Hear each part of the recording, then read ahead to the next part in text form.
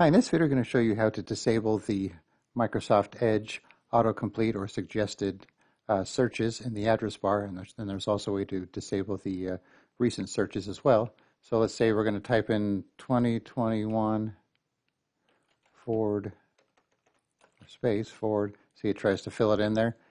And then also if I type in 2022, it has the search that I did from before from the history.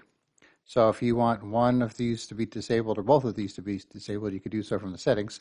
So go to the ellipsis up here, go down to settings, and find the section that says privacy search and services, and scroll all the way to the bottom and look for address bar and search.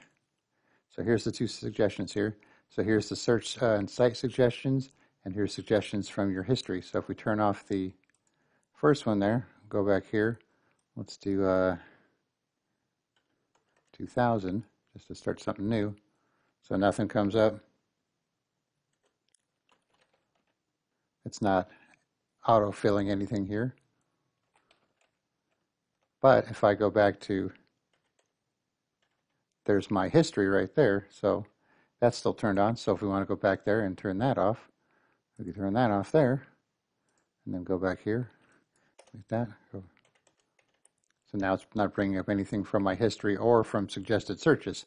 So like I said, you could go back there and turn one off or turn them both off. So once again, that's settings,